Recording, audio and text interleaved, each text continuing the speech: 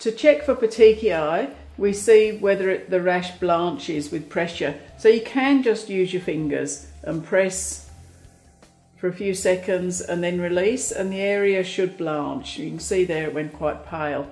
Or we talk about using a glass test. And although I don't have any petechiae on my arm, I have a number of freckles.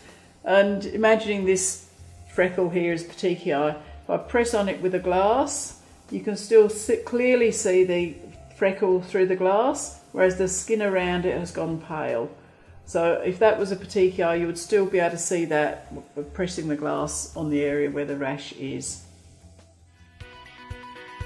To find out more and earn accredited continuing professional development hours, why not perform the video learning activity on this topic? Go to the Learning Centre at www.ausmed.com.au and click the tab entitled Learning Centre.